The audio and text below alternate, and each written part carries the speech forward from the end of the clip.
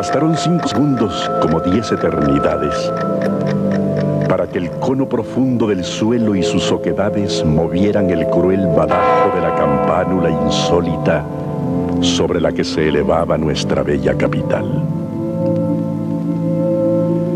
Diez minutos faltaban para que el mediodía perpendiculizara su clara sinfonía de ardentía solar. Cuando la voz airada del centro de la tierra redobló unos segundos sus tambores de guerra y un galopar de cerros sacudió la ciudad. Cinco segundos fueron el viernes 10 del mes número 10 e impregnaron el aire de dolor.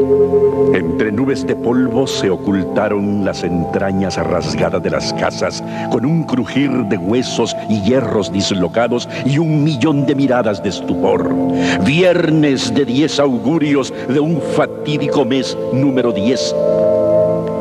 Vuelo premonitorio rasgó el viento cuando desde su esfera el Salvador del mundo se estrelló en lo profundo del tosco pavimento signo de la ciudad convulsionada y símbolo del drama que vivimos, una imagen de Dios decapitada al pie del monumento que le hicimos.